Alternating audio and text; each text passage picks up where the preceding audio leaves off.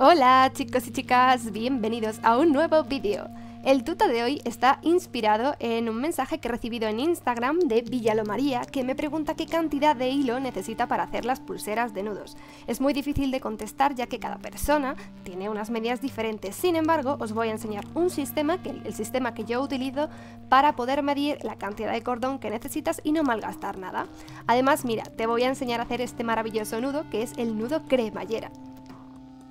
Dicho esto, lo primero que tienes que decidir es cómo vas a cerrar tus pulseras. Puedes cerrarlas con cierres metálicos, puedes dejar los cordones sueltos, puedes hacer nudos corredizos o mira, en este caso un nudo de mono. Dependiendo de eso necesitarás más o menos.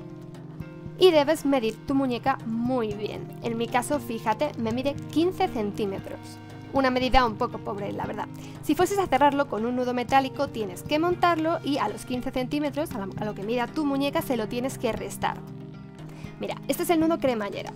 Es muy sencillo de hacer, tendrías que usar cuatro cabos, con el que está más a la izquierda pues harías una especie de S, y con el que está más a la derecha, pasándolo por arriba y después por debajo de todos y a través de ese agujerillo que tenemos, tendrías un nudo cremallera, el primero de los nudos cremallera.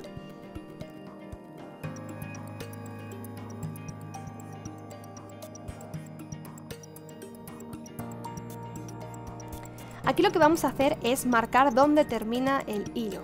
¿Vale? Esto vale para cualquier nudo, no solamente para el cremallera. Eh, yo lo estoy marcando con una aguja porque es negro y no se vería nada, pero lo normal es marcarlo como estoy haciendo en el rosa con un poquito de lápiz. ¿Vale? Y lo tienes que marcar en cada uno de los cabos que vas a anudar, no en los que no anudas.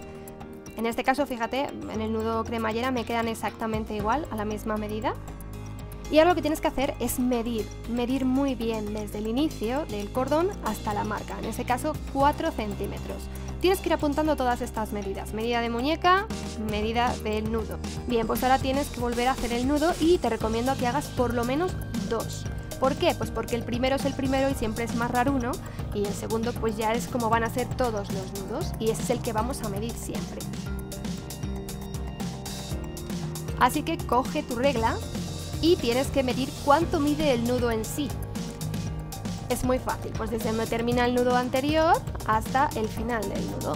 En mi caso son como unos 0,8 centímetros lo que mide. Y ahora viene lo más divertido, las matemáticas.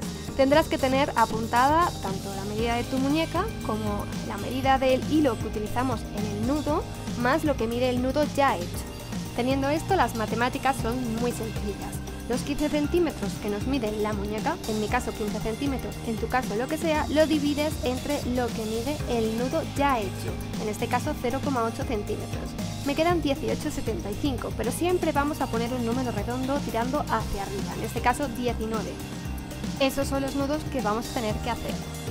Si multiplicamos el número de nudos por la cantidad de hilo que utiliza cada nudo, es decir, 4 centímetros, nos sale un total de 76 centímetros. Es lo que debe medir cada uno de los cabos de tu pull.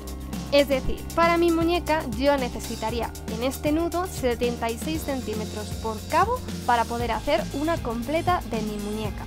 Evidentemente estas medidas van a ser diferentes para cada nudo y van a ser diferentes para cada muñeca. Hay veces que no apretamos los nudos igualmente, así que ese por si acaso deberías tenerlo en cuenta y poner un poquito más siempre en tus hilos. Por ejemplo, en vez de 76, ponerlo en 80. Y si fueses a terminar tu pulsera con un nudo corredito o cualquier otro sistema, acuérdate de que tienes que dejar un poquito más de hilo, tanto como largo quieras que sean esos cierres. Si te ha gustado este truco, déjame un super like, suscríbete si es que no estás suscrito y recuerda darle a la campanita porque YouTube no te avisa de que mis vídeos son todos los sábados y te los puedes perder. Te mando un abrazo enorme allá donde te encuentres, recuerda nos vemos la semana que viene en un nuevo vídeo.